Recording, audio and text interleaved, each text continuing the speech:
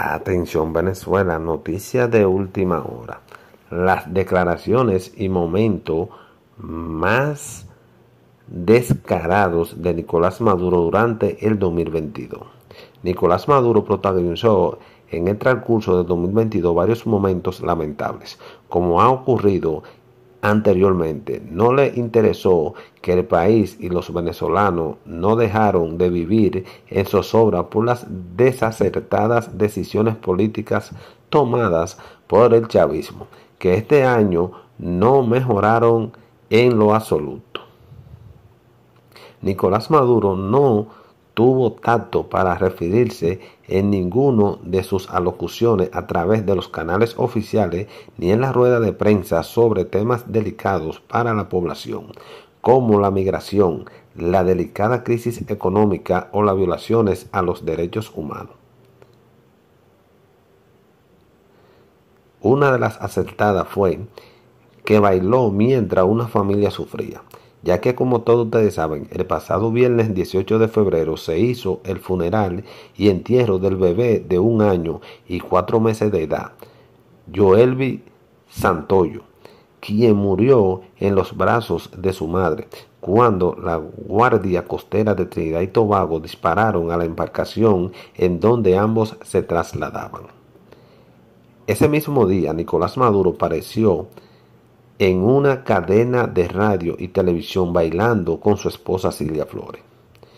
En un video publicado en redes sociales se puede apreciar el llanto y el dolor del padre del bebé mientras Nicolás Maduro y Silvia Flores bailan durante un acto que el líder socialista celebró en el estado Vargas.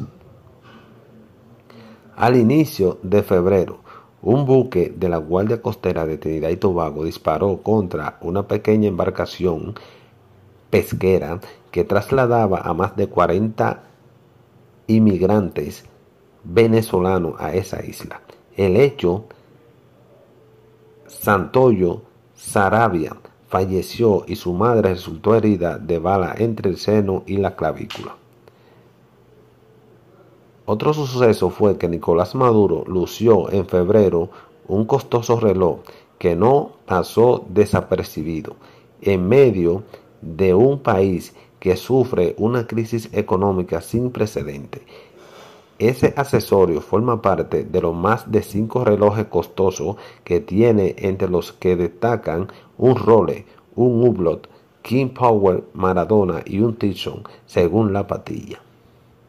Se trata de un reloj Swap Job 406 fondo verde de piel y oro con revestimiento de acero inoxidable, valorado en 18.520 dólares que usó durante la condecoración al embajador de San Vicente y las Granadinas. Por otro lado, impuesto al uso del dólar. Nicolás Maduro prometía en febrero que la ley de impuestos a las grandes transacciones financieras, aprobada por la ilegítima Asamblea Nacional del 2015, tendría un efecto muy bueno en la economía del país. El porcentaje de la alicuota, sin embargo, es aplicado tanto a personas jurídicas como naturales. El oficialista publicó el 25 de marzo un mensaje en sus redes sociales invitando a los venezolanos a salir a disfrutar sanamente y cuidarse del COVID-19. Esa invitación desató polémicas en las redes sociales, en las que usuarios reaccionaron y dejaron sus comentarios indicando que no cuentan con los recursos económicos para salir a disfrutar, ya que deben pagar servicios y alimentos en Venezuela. Por otro lado, en abril le pidió a los migrantes venezolanos que dejaran de pasar roncha en el exterior y les aconsejó regresar al país a trabajar e incluso invertir el dinero que tuviesen ahorrado. Maduro considera que el país está como Chile o Perú.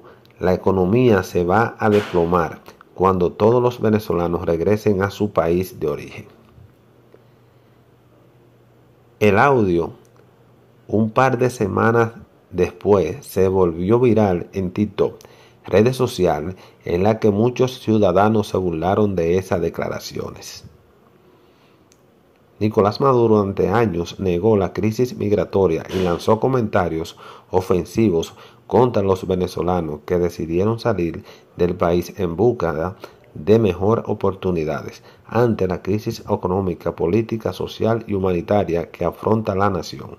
Pero el oficialista, luego de que permitió la circulación y usó el dólar y de que las proyecciones apuntan hacia una mejoría en la economía, aprovecha la situación migratoria para promover su gestión y hace alarde de sus supuestas políticas para la recuperación de Venezuela en medio del supuesto bloqueo criminal de los Estados Unidos.